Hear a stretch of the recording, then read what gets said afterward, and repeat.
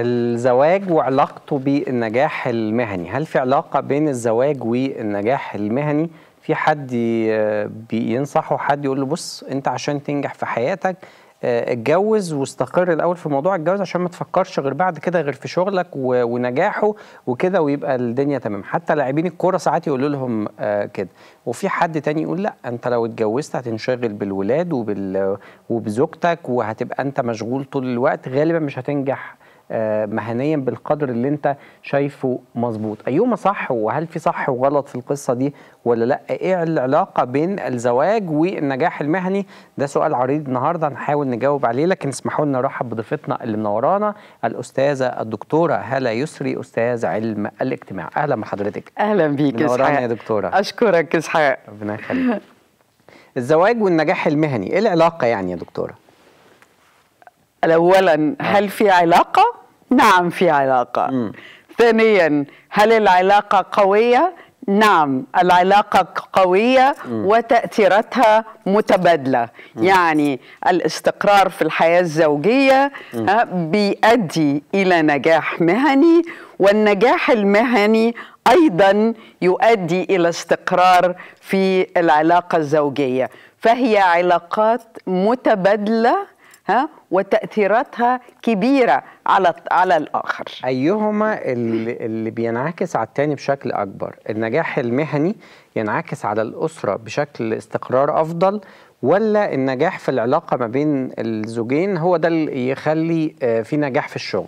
أعتقد إن ال- الاستقرار الأسري مم. والنجاح في الحياة الأسرية بي- بيضفي بظلاله على النجاح المهني مم. لأن أي قلق في البيت تأثيراته بترجع فورا على الشغل.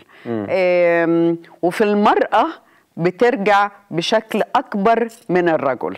آه في لو- حين. لو جوزها منكد عليها في ال- في البيت؟ البيت؟ آه. بالظبط كده.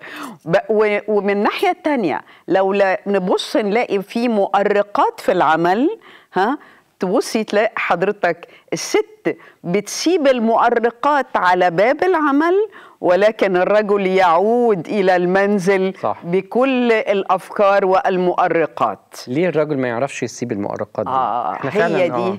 هي الراجل دي. يدخل حرق دم وبعدين بيدخل يزعق في العيال بالظبط ويقول لها تقول له الأكل حلو ولا وحش يقول لها ولا أكل ولا بتاع مش عارف إيه بتاع ويبقى متنرفز طول ال ال ال ال الوقت لكن. فعلا الست ممكن ما تكونش كده بالظبط. وهو ده يعني الفرق بين الرجل والمرأة لذا إحنا بنقول الست قادرة على استيعاب الموقف أيوة. الأم يعني أو الزوجة قادرة على استيعاب الموقف بدرجة أكبر كتير مم. ولكن إحنا عايزين نعلم أولادنا رجالتنا إن هم آه، يتدربوا على إن هم يفصلوا بين الحياة المهنية والحياة الأسرية كلما أمكن ها. لأن في آه، أعمال بتتطلب تليفونات وكده بعد آه، بعد- ما يسيب بعد الشغل وقت الشغل، آه. بالظبط ولكن كلما أمكن يفصل مش- مشاكل العمل عن البيت لأن الأسرة تستحق إن هي تعيش في جو يعني صحي في جو سعيد في جو ما فيهوش مؤرقات ما نقلهمش مشاكل الشغل للبيت. بس أحيانا يا دكتورة يعني في حد حتى لو ما عندوش مشاكل في في الشغل بس يحب يروح لما يروح البيت يقعد يتكلم عن الشغل. آه. وأنا النهارده قابلت فلان وقال لي كذا وقلت له أنت ما جبتش الملف ليه؟ قال لي أصل أنا جاي إن شاء الله اجيبه يقعد يحكي يحكي يحكي عن حاجة في الشغل. الحقيقة أسحاق أنا بأرى أن هذا التصرف تصرف جميل جدا. مم. وبيخلق نوع من أنواع الحوار المطلوب وال ال ال يعني أنا أشجعه جدا داخل الأسرة. مم. إيه، إحنا داخل الأسرة هنتكلم في إيه؟ لازم في موضوعات مختلفة ومن ضمن الموضوعات الحاجات اللي الزوج بينقلها لأسرته أو الأب بينقلها لأسرته وتكون مصدر للحوار. مم. اولا بيعلم آه، أبنائه ها فن الحوار. تمام. ثانيا بيتشارك مع زوجته إيه اللي بيحصل في العمل وممكن هي تستفيد وممكن تفيده كمان بفكرة لطيفة هم، تخرج من المشكلات اللي هو بيقابلها. لأن زي ما إحنا عارفين دماغ الست مختلفة عن دماغ الراجل آه. فلو هو تشارك معاها ال- الأفكار ديت ممكن جدا هي تطلع بحل انوفيتيف كده يعني حل مستحدث ها مبتكر ها هو يحل كل مشاكله في الشغل أنا عايز من حضرتك برضه تقولي إيه الفرق بين دماغ الست والراجل في موضوع ال- الشغل يعني هل الراجل الشغل بالنسبة له مش مجرد عدد ساعات عمل ده حياة بحال يعني آه. يعني إيه الفرق ما بين عقلية ال- الرجل والمرأة فيما يخص العمل آه، يعني سؤال نبيه جدا آه، فعلا هناك فروقات إسحاق الراجل بيفكر في الشغل كأنه حياة. كاملة أيوة. ها إنما الست هي عارفة إن الشغل مهم جدا بالنسبة لها وبالنسبة لأسرتها ولكن أيضا ها ليها جانب كبير من حياتها اسمه البيت. الأسرة مم. وليها جانب آخر اسمه العيلة وليها جانب آخر اسمه الجيران واهتمامات كتيرة ها بتدمجها داخل الاهتمام العام بتاعها مم. إنما الراجل مينلي مركز على الشغل والأصدقاء مم. والأسرة ها يعني آه، آه، ده الترتيبة تيألي في ذهن الرجل مم. طب أنا عايز يعني برضو الرجالة اللي بيشوفونا النهارده إزاي يتعلم بلاش إزاي يعرف لكن على الأقل يتعلم أو يبتدي إن هو يفصل يفصل إن في حاجة اسمها شغل وحاجة اسمها آه، بيت وأسرة وعيلة جميل مم. أنا مهتمة بالرجل وبصحته النفسية مم. وعلشان أنا مهتمة بيه وعايزاه يكون أحسن حد وأسعد حد لازم شغل لوقته ليه اهتماماته ليه همومه. ليه الحاجات الإيجابية بتاعته مم. لازم كل يوم بينه وبين نفسه يحدد إيه إيجابيات اللي هو خدها في الشغل النهارده. علاقة طيبة مع الزملاء علاقة نص نص مع الرؤساء آه، آه، أنجز كتير ساعد ناس كتير آه، في كان عنده تشالنج أو عقبة واحدة قدر إنه يحلها بطرق ما الشغل ما قالوش عليها ولكن هو حلها. يعمل تقييم ذاتي للي بيعمله. مم. دي في المرحلة الأولى. المرحلة الثانية لازم يخلق عباءة ها العمل على باب الشغل. يعملها إزاي دي يا دكتور؟ صعبة. مش ما فيش حاجة صعبة إسحاق. إلا ها لو هو عايز هتتعمل لو هو درب نفسه على كده هتتعمل لو هو لقى الجو في البيت مساعد لكده هتتعمل مفيش حاجة صعبة يعني إيه الجو ده يعني بمناسبة الجو في البيت يساعد أو لأ هو قرر إن هو يسيب الوظيفة اللي بيتقاضى منها أجر شهري ويتاجر مثلا جميل. هل ده قراره ولا قرار الأسرة. مم. آه أنا أقول إنه قرار الأسرة معاه امم ليه؟ آه احتياج الأسرة للأب ده شيء آه ما ينفعش إن أنا أغض البصر عنه. آه يعني افرض إن جاله شغل خارج مصر. آه ده سؤال مهم جدا. آه طيب يعني هل آه يسافر كده من غير ما يقول لمراته من غير ما ياخد اولاده ده قرار من ده قرار الأسرة ده أكيد يعني. آه أنا بقول إن ده قرار يخص الأسرة مم. بأكملها. آه ويجب أن يكون محدد بتايمينج بوقت معين. ها؟ ولا ولازم ليه هدف معين. يعني لما أعمل الفلوس كذا لما أقضي كذا ها؟ أرجع. ها؟ لأن بعد الأب عن البيت بيخسر البيت حاجات كتير. حتى لو فترات طويلة من اليوم.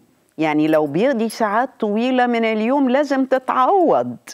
وجود الأب كقيمة كبيرة داخل الأسرة دي مهمة خالص. طب ال quality time أو الوقت ال- ال- أيوة. القيم لل يعني للأسرة النهارده عنده يوم أو اتنين أجازة في الأسبوع. إزاي ما يبقاش متواجد بشكل مكاني كده وخلاص؟ بالظبط. أنا أنا نفسي يعني يعني معظم الكلام دلوقتي بي بيبقى على المرأة. وعلى أدوارها وعلى قد كده إحنا بنساندها علشان تأدي واجباتها داخل المنزل وخارج المنزل بشكل جيد. إحنا مش بنساعد الراجل أو الراجل بياخد خطوة لورا. إحنا مش عايزينه ياخد خطوة لورا. لا أنت في مقر قيادة في الأسرة يجب أن أن تقود كما ينبغي. وإحنا مستعدين نقدم لك كل العون والمساعدة والمساندة علشان تقدر تأدي دورك كرب للأسرة ها أنت اللي أولادك بيبصوا لك وبيتعلموا منك صحيح. أنت أنت القائد في البيت يعني آه صحيح وانت مش موجود المرأة بت بت بتمسك عصا بتسوق. القيادة آه. هي اللي بتسوق ها انما آه، أساسا انت القائد مم. ها فعليك أن تقود بشكل ديمقراطي داخل الأسرة مم. بشكل فيه حب ومحبة كبيرة بشكل فيه احترام متبادل بين كل أفراد الأسرة بشكل يعلم أولادنا كيف يقودوا أسرهم في المستقبل إزاي بابا يعوض الولاد الوقت الكتير اللي بيقعدوا بره البيت معظم الأبهات دلوقتي عشان يكفي المصاريف والولاد وكده بيشتغل للأسف شغلتين وثلاثه شغلانتين كمان. وثلاثه آه فبيطلع بيطلع الصبح مثلا 7 الصبح يرجع لهم 8 9 بالليل بس راجع خلصان جميل. يعني راجع ما فيهوش جميل. ما فيهوش مش عايز مش عايز يعني هاكل لقمة ويترمي ينام ينام على طول جميل. إزاي يوم الأجازة يبقى يوم مختلف أنا هرد على سؤالك مم. بس أنا عايزة أثمن على ما يفعله الأب عندما يعمل في عمل أو اتنين أو تلاتة مم. ده أب آه، له كل التقدير والإحترام وفي نفس الوقت آه، آه، بيدي نموذج لأولاده إن بابا بيتعب ويشقى علشان يجيب لنا لقمة العيش اللي تغطينا وتكفلنا احتياجاتنا وممكن بالزيادة كمان. آه نبص لسؤالك إسحاق. مم. ها إزاي آه آه يعوضهم؟ إزاي يعوض بص حضرتك مهما اديتهم من فلوس هيقولوا تاني. طبعا. مهما اديتهم من فسح هيقولوا كمان. أنا نفسي يدي وقت من دماغه امم من فكره من محبته تترجم الكلام ده في كلمات مم. في أفعال في مشاركة حقيقية. يعني ماما بتعمل الغدا النهارده كلنا نساعد. بابا بيع بي بيرتب الخطة بتاعه الأسبوع الجاي أو الأسبوع اللي بعده أو أجازة صيفية أو أجازة نصف العام اللي جاية ها؟ نقعد كلنا نخطط معاه نشوف إزاي هو بيخطط يتشارك معاهم خطط ها؟ الأسرة يتشارك معاهم دروس مستفادة يتشارك معاهم قصص آه، من الحياة. يعني يشاركهم التفاصيل. يشاركهم التفاصيل ويتكلم. أنا والدي الله يرحمه آه. كان بقعد بتكلم معاه بالساعتين. مم. لدرجة يقول لي هالة تعبتيني. من كتر الحوار. بس هو كان بيبقى سعيد. مم. سعيد إن هو بيديني. أصله مش حوار فقط. هو بيديني من فكره وقلبه وعقله وخبراته. وهو ده دور الأب. دكتورة لو هندي نصيحة النهاردة لكل أب وأم بيشوفونا من أجل بيت ناجح بيت آه، كويس آه، آه، يبصوا للأمر إزاي يبصوا لبيوت لبيتهم ده إن هم ينجحوه إزاي في ظل ظروف اقتصادية صعبة في ظل تحديات كبيرة البيت السعيد بيقوم على ثلاث ركائز. الحب والإحترام. والمشاركة دول الثلاث ركائز للبيت السعيد مم. لازم كلنا نساعد بعض في إن هو الثلاث ركائز دول مم. أو مرتكزات بيقف عليهم البيت السعيد ولو مش بنعمل كده النهارده نبتدي النهارده مم. نتكلم نظهر مشاعر المحبة اللي عندنا البابا يقول لماما أنا بحبك قوي يسلم إيديكي أنت بالنسبة لنا حاجة كبيرة خالص. مم.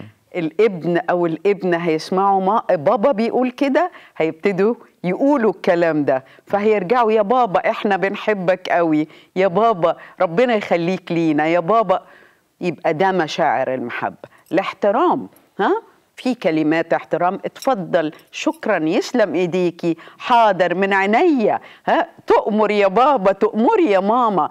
الكلمات دي افتقدناها كتير داخل الأسرة. يا رب ترجع. م? والمشاركة وقت تحضير السفرة الكل بيشارك. مش ماما يا عيني. بتطبخ وبتحضر الترابيزة وبتشيل الترابيزة و... لا. ها؟ واحد فينا ده يعمل طبعا. أنا بدي أمثلة بسيطة صحيح. ها ويندرج تح تحتها يعني آه، أمثلة كتيرة آه، ليها آه، ثقلها الاقتصادي أو الاجتماعي ها أو حتى ها كيفية إدارة المنزل تبقى برضو بشكل تشاركي داخل الأسرة الحب الاحترام المشاركة. بشكرك جدا الأستاذ الدكتوره هالة يسر أستاذ علم الاجتماع نورتينا أشكرك يا إسحاق وأنا سعدت بوجودي معاكم. ربنا يخليك.